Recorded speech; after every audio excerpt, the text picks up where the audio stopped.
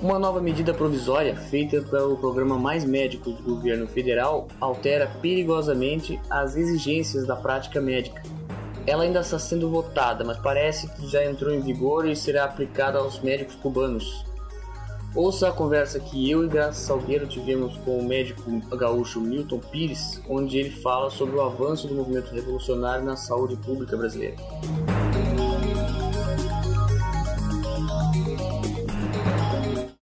Essa medida provisória é, do, feita pelo pro programa Mais Médicos, o que, que ela é exatamente, o que, que ela significa para a saúde pública, assim, para a saúde, né? Olha, eu, vou, eu gostaria de começar situando mais ou menos as coisas como elas estão atualmente no tempo. O que nós temos de fato é, para relatar começou no dia 8 de julho de 2013, com a edição de fato da medida provisória 621, nós estamos agora no dia 10 de outubro e é transcorrido, transcorrido portanto, um prazo de mais ou menos de três meses, é, onde as pessoas têm que, teriam que entender mais ou menos a, a, as transformações que essa medida foi sofrendo, qual foi o processo, é, o processo legal que isso aí envolveu junto à Câmara de Deputados, a, a comissão é, a comissão é, mista que avaliou isso antes, inclusive, de ir para a Câmara, Câmara, Christian. E eu preciso explicar o seguinte, assim, é, depois da medida provisória é, publicada no dia 8 de julho, esse plano do governo federal foi encaminhado, como eu disse, para uma comissão mista de senadores e deputados federais. Essa comissão foi presidida por um deputado federal de Sergipe, Rogério Carvalho, o nome dele, é, filiado ao PT do Sergipe, médico, isso é importante que se diga. E nesse processo, é, Christian, houve, houve modificações no texto original. Né? Pode falar, Graça. Eu ia lhe pedir um, um parênteses. É interessante a gente observar que essa, essa medida provisória ela foi criada no dia 8 de julho e ela foi implantada, quer dizer, tudo que ela dizia ali, ou pelo menos parte daquilo que está descrito ali, começou a ser, a ser implantado mesmo antes de ser avaliada pela Câmara e pelo Senado. Agora é que ela está sendo julgada, né? É, o, o que está acontecendo, a fase em que isso está agora, graças à, à fase de encaminhamento da Câmara para o Senado Federal. Nós não sabemos ainda exatamente quando, quando é que vai ser isso, isso vai ser votado no plenário do Senado. É, mas nós sabemos que existe um prazo legal, aproximadamente até o dia 5 ou 6 de novembro, a partir do qual a própria emissão da medida provisória pela presidente Dilma no dia 8 de julho eh, perderia, vamos dizer assim, o prazo para que fosse aprovada nessas duas casas. É, então, a primeira parte, que seria a avaliação pela comissão mista, já terminou. A segunda parte, que era a votação no plenário da Câmara, já acabou, Graça. E agora vem a terceira e a última parte, que, se, que vai ser a votação, então, no do texto, no texto no Senado, né? Sim, mas é. o, que eu, o que eu quis dizer, Milton, é o seguinte: é, esse, essa, essa medida provisória, ela agora que está sendo votada, mas os efeitos dela, a que ela se destinou, ela já entrou em funcionamento antes dessa votação. Porque, por exemplo, essa, essa importação de médicos, não é? É, é, o curso que eles fizeram de, de, adaptação, sei lá como é que a gente pode chamar, de português, não sei mais que, a distribuição deles para os estados, tudo isso constava lá que deveria ser julgada e aprovada ou rejeitada, mas eles já estão em funcionamento. Ah, sim, perfeito, entendi Entende? agora. É, entendi, é, é, entendi. Isso daí que chama atenção, entendeu? Mas ela começa a valer antes, né? Ela começa a valer antes. É quase como a mesma coisa dessa lei de homofobia, que ela ainda não foi votada, ela ainda não é uma lei legal, ainda não existe legalmente, não é? mas as pessoas já estão sendo julgadas e condenadas por homofobia. É a mesma coisa. Da lei, né? É. Os efeitos uhum. práticos, quer dizer, a, vamos dizer assim, os efeitos práticos surgiram e começaram antes da aprovação final do texto, isso, é isso que vocês estão colocando. É, não, não há dúvida nenhuma, graça disso aí que tu colocaste. Quer dizer, os médicos já estão aqui, eles já passaram por períodos de adaptação, eles foram treinados, alguns ficaram inclusive aquartelados, como no uhum. Nordeste do Brasil, né? E, e, essas pessoas, de fato, já, tão, já estão tendo contato com os usuários do SUS. Começam já a circular na internet nas redes sociais as primeiras informações dos erros que esses médicos vêm cometendo, tanto erros é, do ponto de vista de grafia, do ponto de vista administrativo, como propriamente o, o seu desconhecimento técnico da medicina, né, Graça? Isso já está acontecendo. Eu entendi agora o que tu, que tu, tu colocasse, né? Pois é, agora outra coisa é, é, que eu gostaria muito que você falasse para os ouvintes, Milton, que você está bem por dentro desse, dessa questão, é duas questões muito polêmicas que foram julgadas, é, inclusive é, o, o, parecer que da, foi dado pelo presidente do CFM, doutor Roberto Dávila, era a questão de uma, uma das carteiras de habilitação médica serem passarem para o controle do Ministério da Saúde em vez de ser pelos conselhos regionais. Uma quimera, né, cujo nome completo é Fórum Nacional de Ordenação dos Recursos Humanos na Saúde. Essa é a, a titulação completa. Voltando ao início da tua pergunta, no que se refere à atitude do presidente do Conselho Federal de Medicina, Graça, eu, eu, eu classifico ela de três maneiras. Primeiro, ela foi um ato de barganha. Segundo, ela foi um ato de covardia. E em terceiro, ela foi um ato de pouca inteligência, para não dizer abertamente um ato de burrice. Né? Uhum. O, que, o que, que o presidente do conselho fez? Ele aceitou é, é, ceder a prerrogativa estabelecida em 1957 pelo presidente Juscelino Kubitschek, definindo as funções da nossa autarquia, do nosso órgão máximo, ele aceitou entregar isso para o Ministério da Saúde e, em troca, o Ministério e o relator Roberto, Rogério Carvalho retirariam do texto é, do, do, texto atual, né, que está em votação, a proposta de criação dessa coisa monstruosa, dessa entidade que é, que é esse Fórum Nacional aí, Graça. Que é, como uhum. eu disse, é o Fórum de São Paulo na área da saúde. Né? Uhum. É, uma, é uma coisa inominável. Se vocês quiserem ter uma ideia do que, que esse fórum, uma vez existindo, poderia fazer, é, eu posso ler aqui rapidamente, são seis atribuições. A primeira delas seria propor diretrizes relacionadas à competência de cada profissão e especialidade em saúde. Né? Só um parênteses novamente, Milton, por gentileza. Essa, essa é, essa estrutura que você vai ler aí se referia somente a médicos ou toda a, a área não, de saúde, não. enfermeiro? Não, é... é, veja, veja, essa pergunta, eu acho que essa talvez que tu está fazendo seja uma das, se não a pergunta mais importante da é noite. Porque para mim não ficou é. claro, eu li e não entendi pois se então, era somente médico ou se incluía não, enfermeiro, não, não, é, não. fisioterapeuta, nutricionista, não. todo o pessoal da área de saúde, né? Isso não está claro. Não, mas é, veja bem, é, Graça, assim, é claro, o nome da entidade é muito claro, porque o Fórum é Nacional de Ordenação de Recursos Humanos na Saúde. Isso transcende a medicina, sim, eu quero, quero deixar claro, tá? Eu, eu estudei esse assunto, isso aí seria um plano para, de fato, o Ministério da Saúde colocar suas garras sobre todos os conselhos. Isso envolveria também a enfermagem, também a psicologia, também a, a, a farmácia, né? Farmácia, nutrição, fisioterapia, é... terapia ocupacional. Isso, isso, isso não é centralização, né? isso, é, isso, isso seria, seria um, um, órgão, vamos dizer assim, do, do, do, ponto de vista de gestão, seria o órgão máximo, né? Seriam, perderiam as funções todas essas autarquias que a gente está citando e entraria em ação do ponto de vista deliberativo. Quem teria a última palavra no Brasil seria esse fórum que a gente está citando. Porque, veja, a primeira atribuição dele seria propor as diretrizes relacionadas à competência de cada profissão. Na segunda, ele proporia o dimensionamento das, das, das vagas e dos cursos nos níveis de graduação e pós-graduação das profissões em saúde, todas elas, né, Graça? Uhum. A terceira, ela proporia diretrizes de carreira e dimensionamento da quantidade dos profissionais e especialistas. Quarto, proporia os critérios de recertificação eh, profissional e a quinta proporia as diretrizes da educação profissional permanente. Na sexta, ele ainda proporia os arranjos necessários de ensino para a formação na graduação e na pós-graduação em saúde. Quer dizer, é, lendo isso, Graça, a, a, pergunta que a gente tem que fazer depois é o, é o seguinte: o, que, que, se, o que, que sobraria, vamos dizer, para cada conselho federal? Né? O que, que ficaria do ponto de vista deliberativo, na prática, para o Conselho Federal de Psicologia, de medicina, de enfermagem, decidirem e fazerem, porque essa é uma entidade que, que, que, acabaria com tudo, com tudo isso, ela teria a palavra final, né?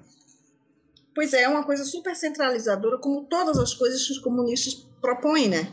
Tudo é, tem não. que ser centralizado na mão do Estado. Não é? é inclusive, eu gostaria de ressaltar a, a, a importância, a temeridade dessa coisa, é, vamos chamar de coisa para não dizer o nome uhum. todo, é tão grande que hoje né, o, o Roberto Dávila é, deu uma entrevista às 10 horas da manhã em Brasília, isso está no portal do Conselho Federal de Medicina, eu recebi também por e-mail, dizendo o seguinte, que muito poucas pessoas perceberam o, o que representava a criação desse fórum, né? Uhum. Eu até fiz um post sobre isso numa rede social, é, dizendo que de fato foram poucas, mas eu sou uma das poucas que entendeu sim, quer dizer, eu vi o que se preparava ali, qual era a intenção, é, vocês, vocês entendem né, o que eu estou colocando. Então, o governo usou dessa tática, ele criou uma coisa da qual ele mesmo estaria depois disposto a desistir para conseguir uma coisa da qual ele não estaria disposto a, a, perder. Foi, foi isso que eles fizeram, Graça.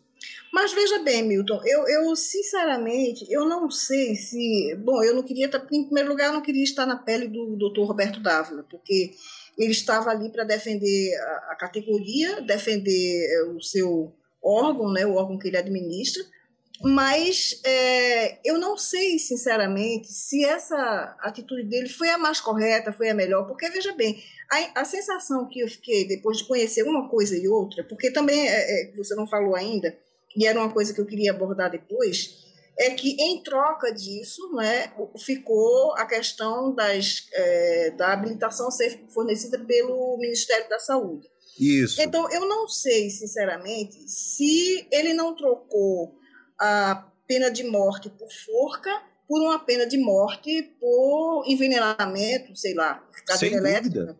Sem é trocar seis por meia dúzia. Ele abriu mão de uma coisa, mas ele está perdendo outra que é muitíssimo grave.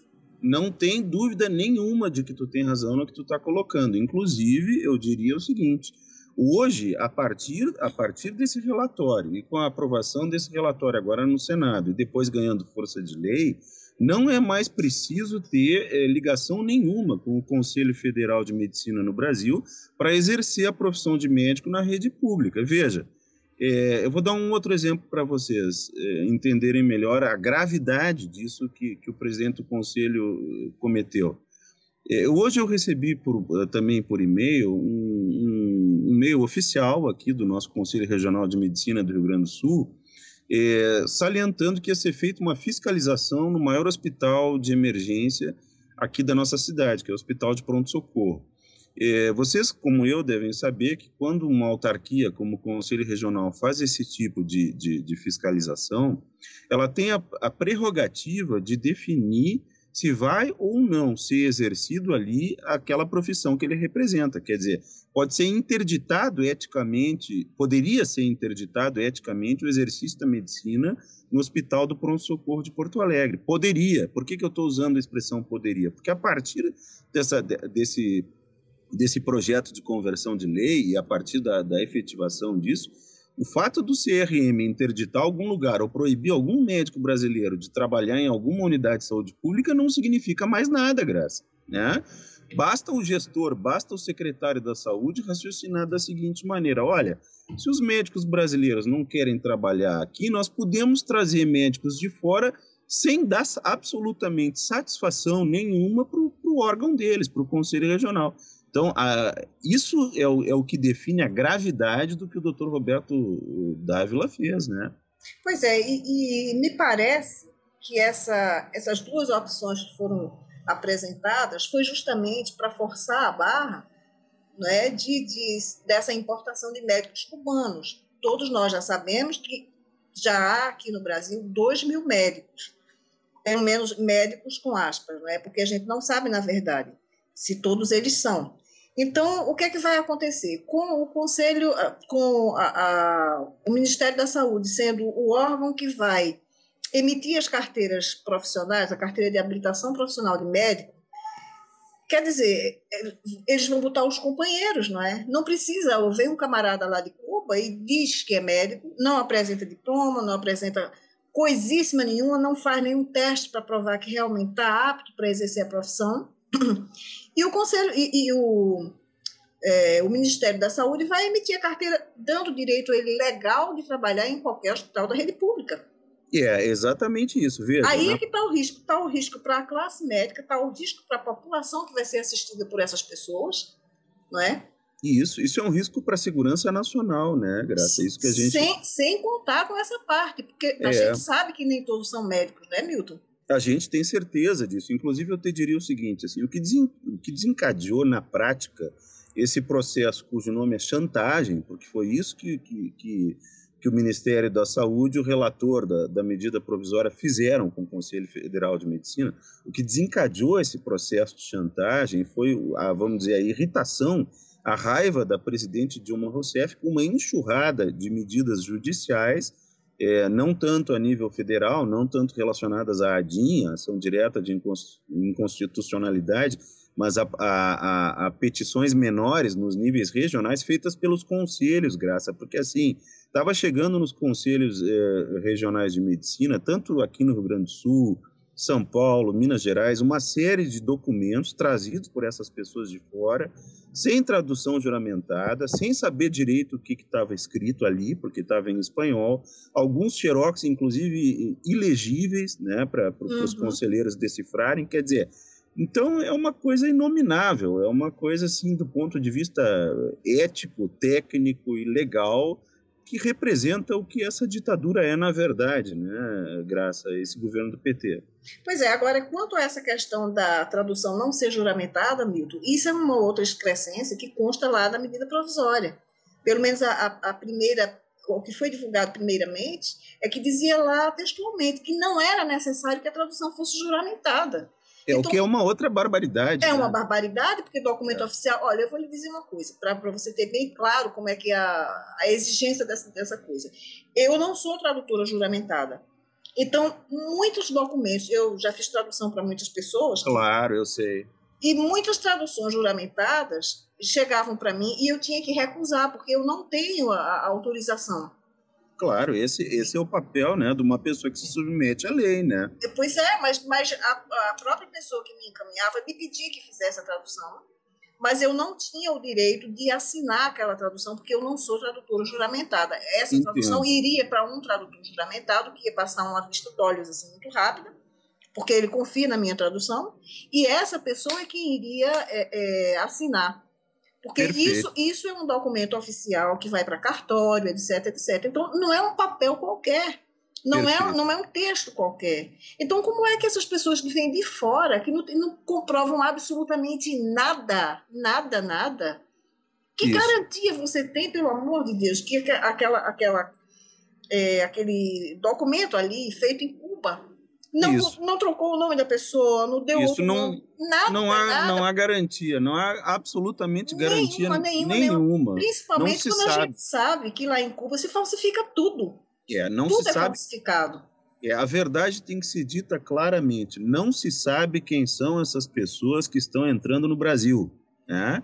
E se retirou do Conselho Federal de Medicina, ou melhor, o Conselho entregou, porque isso não retirou, o Conselho entregou a nossa prerrogativa histórica de, de, de poder avaliar quem são essas pessoas e, inclusive, dizer se são de fato médicos, né, Graça? Porque nem isso agora nós, nós Não tem nenhuma garantia, né? não, não temos, né? É, eu gostaria de, de dizer uma outra coisa importante aqui nessa entrevista. Eu sei que tem muitos médicos e leigos também me escutando, mas é, é fazer uma observação, graças naquilo que se refere à, modificação na, no currículo, de, na, na forma de especialização médica no Brasil. Por que, que eu quero é, tocar nesse assunto? Porque esse, esse relatório, na fase em que ele se encontra agora, ele modifica todo o programa de residência médica no Brasil. Tá? É, por que, que isso foi feito, eh, Graça? Porque a gente sabe que o governo, eh, pressionado anteriormente, abriu mão de aumentar em dois anos a graduação do curso de medicina. O que, que Uhum. eles fizeram? Eles pensaram da seguinte maneira: olha, já que nós não vamos conseguir obrigar os médicos a trabalharem dois anos pelo SUS eh, durante a graduação, nós vamos modificar aquilo que eles querem fazer depois. Nós vamos modificar a pós-graduação e a especialização eh, dentro da medicina. O que, que eles tentaram primeiro? Primeiro, eles tentaram acabar com as sociedades de especialidades. O que, que isso significa? Precisa ficar claro para quem está nos ouvindo, para vocês também, que um médico, atualmente no Brasil, depois de formado, para que ele seja considerado especialista em alguma, em alguma área, ele teria duas opções. A primeira, a recomendável, é aquela que se que a classe médica inteira, vamos dizer assim, é, prestigia mais, luta por, por fortalecer, é a residência médica, né? A outra seria prestar as provas dentro das sociedades de especialidades. Essa, essa seria a segunda maneira de ser reconhecido como especialista. Veja, tanto como tanto fazendo a residência como prestando a prova dentro da sociedade, você precisa depois é, levar essa, essa, essa sua história da prova ou da residência para que o Conselho Federal de Medicina lhe reconheça como, como especialista. Valide, não é? Valide, isso, esse é o termo correto. Tá? Então, o que, que, o que, que eles quiseram, queriam fazer nessa, nessa, nessa medida provisória? Eles queriam primeiro acabar com as sociedades de especialidade no Brasil, no sentido de impedir que elas, que elas titulassem qualquer médico como especialista. Isso foi a primeira coisa que eles tentaram, né? desistiram agora, isso, isso caiu por terra. Desistindo de acabar com a possibilidade de titulação através das sociedades, o que, que o governo conseguiu? Conseguiu modificar o currículo das residências, Graça. É isso que eu gostaria de deixar claro. Então, para que você se torne hoje especialista, hoje não, mas a partir de 2018, 2019 no Brasil. Quer dizer, que você... as pessoas que estão estudando ainda, né? os futuros médicos, né? Os futuros médicos, veja, para que eles possam ingressar numa residência de clínica médica, pediatria, ginecologia, cirurgia geral, psiquiatria e medicina preventiva, todas essas áreas que eu citei, para que um médico possa ingressar numa delas, ele antes vai ter que fazer um ano de residência é, naquilo que o governo quer, né, que é a residência de medicina geral de família e comunidade. Então, é, veja que foi essa a, a vamos dizer, a a saída, vamos usar assim, entre aspas, que o governo arranjou para fazer com que essa mão de obra médica ingressasse no tipo de trabalho que eles querem, Graça. É isso que precisa ser dito. Tá? Para obrigar os, os médicos a trabalharem para ele, né? Para obrigar todo médico, ao fazer a sua residência, a trabalhar um ano para eles. É, é isso que precisa ser dito claramente. Então, é, é uma coisa que acabou, vamos dizer assim, resolvendo aquilo que o governo queria fazer antes, que seria aumentar o tempo de graduação, né? É isso.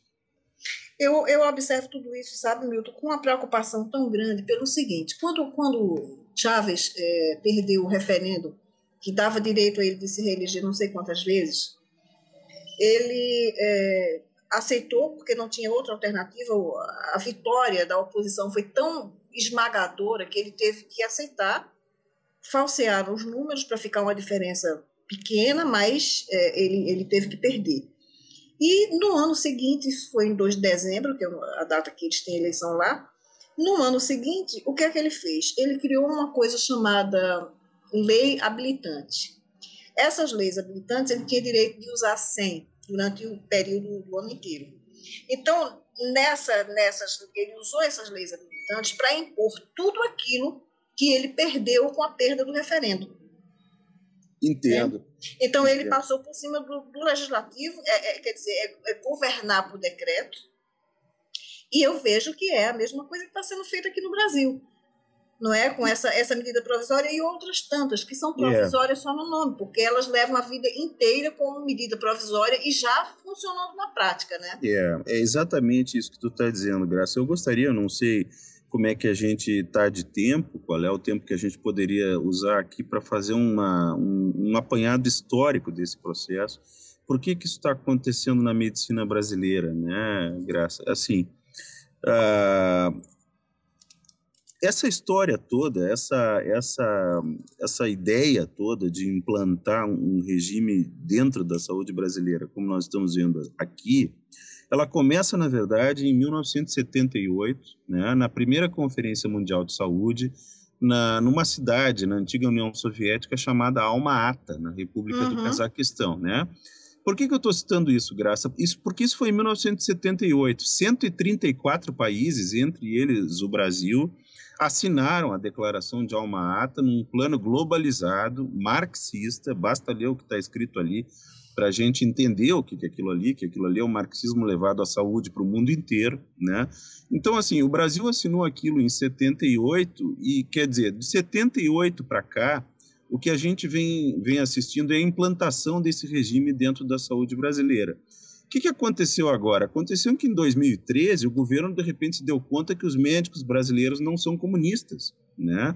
Os médicos não, não se submetem a trabalhar nas condições que eles querem dentro desse sistema que eles vêm criando há décadas no Brasil. Qual seria a solução, Graça, prática para resolver, do ponto de vista do governo da ditadura comunista, resolver esse problema? Olha, eu só vejo três. Né? A primeira seria obrigar toda a força de trabalho médica uh, brasileira a trabalho forçado, quer dizer, isso eles não têm, pelo menos, graças a Deus, ainda como fazer. Né? A segunda maneira seria trazer médicos comunistas aqui para dentro. E a terceira, modificar a formação dos médicos que vão vir. Então a gente tem que perceber que se a primeira não deu certo, as outras duas eles estão aplicando. Né? É, é isso que está acontecendo na prática, é, é isso que a gente está assistindo. Quer dizer, essa coisa ela vem muito antes, a história da saúde pública é, contemporânea no mundo ocidental, ela se confunde com a história do movimento revolucionário. É, veja, o Manifesto Comunista, por exemplo, foi publicado, um marco na história do marxismo, foi publicado em 1848, né? Uhum. Antes disso, em 1845, Graça, tu já tinha um, um, livro do Engels chamado A Situação da Classe Trabalhadora na Inglaterra, aonde se tu abrir aquilo ali, nem precisa ler tudo, tu vai perceber muito claramente a importância que ele dava para os problemas de saúde dos trabalhadores, principalmente nas minas de carvão de como aquilo era importante para ele do ponto de vista revolucionário, tu tá entendendo? Então, essa história toda de medicina social, de sanitarismo, ela se confunde com a história do movimento revolucionário. É isso que a gente precisa colocar do ponto de vista assim é, de gênese da coisa, tá entendendo? Pois é, Milton, isso tudo que você está falando é de uma importância muito grande, mas não só para a classe médica, mas para a população que é assistida, não é? Porque são pessoas que vão bater na mão desses médicos sem saber quem é aquela pessoa, sem saber qual é o objetivo dele, e muito menos é, é, saber qual é o objetivo do governo ao trazer essas pessoas para cá. Não tem, é. não, na realidade, não, o objetivo não é absolutamente dar assistência às pessoas mais carentes e mais, menos assistidas, como eles chamam, né, que, que estão nos rincões mais distantes do país. Não, a questão não é essa. Não é essa. A questão é de, de, da implantação do comunismo pela via disfarçada de um atendimento médico. Exato.